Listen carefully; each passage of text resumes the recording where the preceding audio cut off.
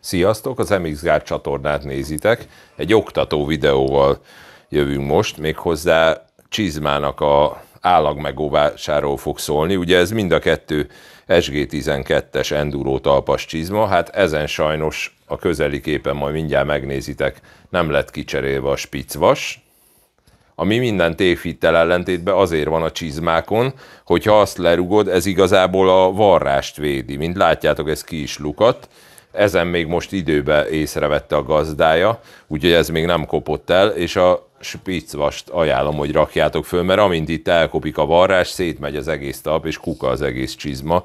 Úgyhogy erre figyeltek, van itt egyébként raktárunk, és nem egy óriási költség, a csizma az viszont az. Úgyhogy ha ezt elmulasztjátok, akkor kuka az egész csizma, mert e- ezt innentől fogva ezt a csizmát, ezt már nincs cipész, aki meg tudná csinálni.